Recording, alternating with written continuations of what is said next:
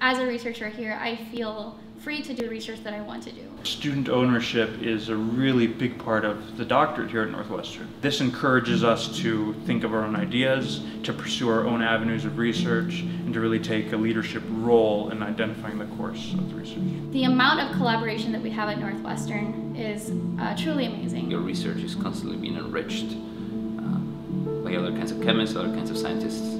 Those boundaries between chemistry, biology, chemistry, physics, um, chemistry, health sciences, the boundaries that are there are fictitious.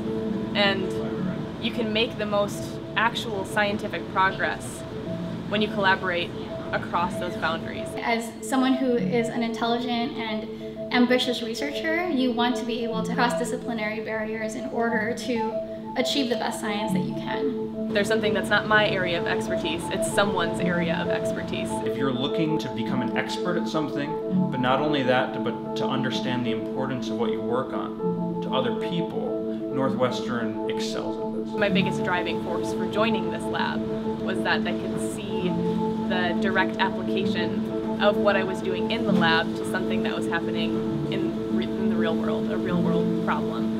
That was chemistry that matters. That's really what Northwestern is about, unifying fundamental work with how it can be useful.